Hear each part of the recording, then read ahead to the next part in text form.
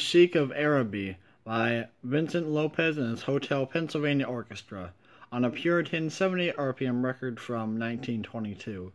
This is the A side, and the B side you can see here on screen or in the description below. It's called Tai Tea. Other than that, thanks for watching and listening. Hope to see you guys down in the comments below or in the next video.